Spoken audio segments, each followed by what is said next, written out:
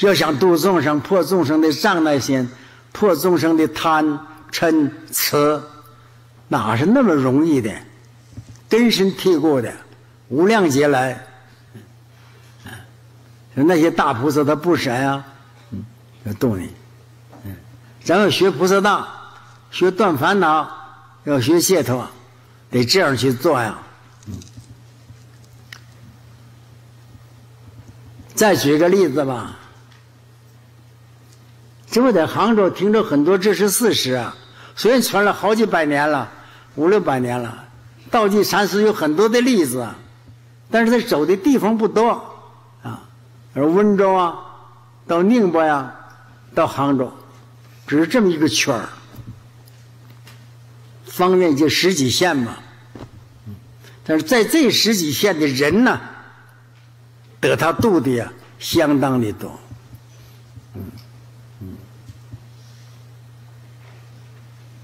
有人这样问过我，说：“你们这和尚还有没有现在有没有像济公的？”我说：“我不知道，起码我不是。”他说：“为什么你不学他？”我说：“我学不了，我要像他，我就下地狱了。他可以解脱。”他可以度别人，我不知道别人想啥，我没有那么大本事啊。比如说，道济禅师度宗度度这个东荣，度东荣，东荣是干什么的呢？杀狗的，卖狗肉的。他把他度他了，他把他度化了。他度化他的时候，得他升起善念。他不生起善念了，那个因缘不成熟，你渡不了他呢。他发起善念了，哎，他一说，这一帮助他，他就得度了。他有这个本事啊，但你善根没成熟，渡不了。嗯，我东荣他是个卖狗肉的，他这天杀狗，杀狗是，他明明把刀子拿出来了，搁到那个接那个狗血的盆子里头。他到屋里去转一圈回来，刀子没有了，他就很奇怪，东找西找，真没找不着。后来母狗的小狗，母狗的儿子小狗，把那刀叼叼着趴到他身底下，嗯，那东荣，呃，这么一踢那个小狗，他看那个刀就在小狗底下趴着呢。他就难过了，因为他很不孝顺，打他妈妈，骂他妈妈。哎，他说我还不如一个狗。你看这个狗啊，知道护死孝顺他母亲。他我对我妈妈太不孝了。就这么一念，本来他今天该死的，说道济禅师才来渡他，完了他就跟他妈妈磕三个头，啊，说我今天。向你老人忏悔，我以后绝对孝顺你。我今天把这个狗卖了，已经杀了，再我不做这个生意。嗯嗯，他把这个狗肉推出去卖，卖起来，他内急了，想解大手，啊，就把那右驾那个推着小车搁那了，那个独轮车，嗯，他就跑一个墙背后去。啊，接手去了，哈，济公就来了，推着他那小车就跑。这一下他他急了，他我这有全部的本事啊，全部的家当，你给我 你给我你给我推跑了，我将来怎么生活啊？提起裤子就撵，啊，他刚来一起来，往我一跑，这个墙啊，他解解手这个墙，突然就倒了，哈呀，把他吓得一身汗。他说我假使晚起来两步。那强不就把我打死了？一边走一边喊，啊，说师傅，你救了我一命，我分给你一半啊。其实济公要他狗肉干什么？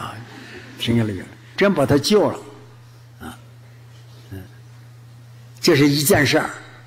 你说这犯戒不犯戒？另外一件事儿，渡渡渡这个董春香。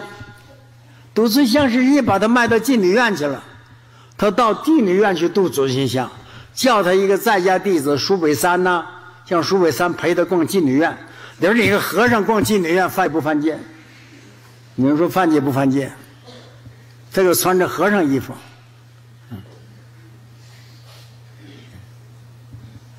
所以啊，大菩萨示现的，他度众生的心机，不拘小节，不拘小节。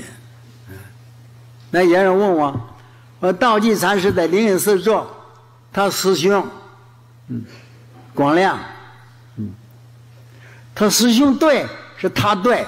那好多人都骂这个广亮和尚，我说我因为广亮对，道济不对。哎，他说你咋这样看法？我说我是和尚啊，我当然这看法啊。他说和尚你能学济公啊？我我学他干什么？我学他干什么？哎，他说你学他渡人呢？我说没那个本事。我说。这个广济和尚是庙上的当家师，是维持社会、维持我们庙的秩序的。道济他是破戒的了。那和尚都那样做行吗？都到庙里吃狗肉、喝烧酒，这个庙还像个庙了吗？我说啊，不能从菩萨的拳，那是菩萨的拳脚方便。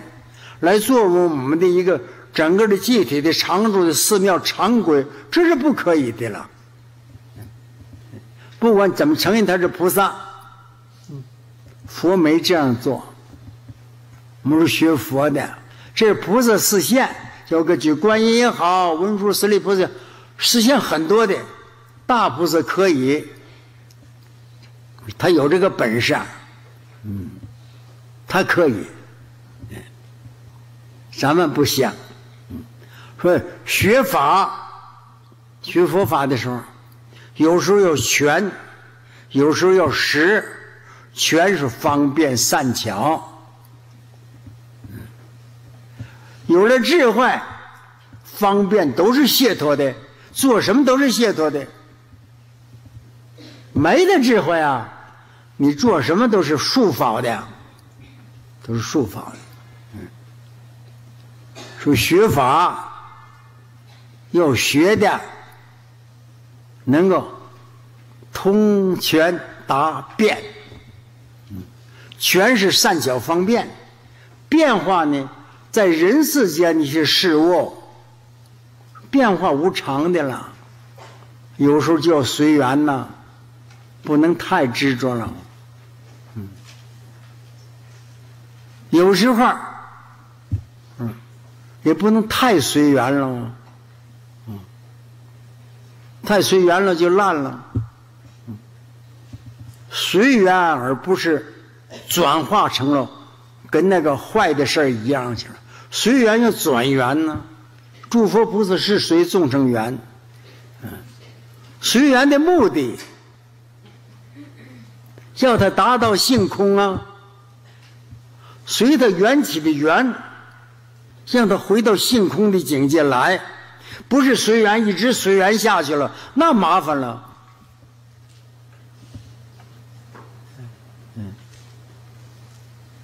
但是得度德量力，看我自己有那个道德没有，我有那个力量没有？你没那个道德，没那个力量，你还是守成规为好，老老实实修行。现在不能成佛吗？不能了生死吗？那我还不会下地狱呀！这点一定要掌握住，不然你随缘了，你就随到地狱里去了。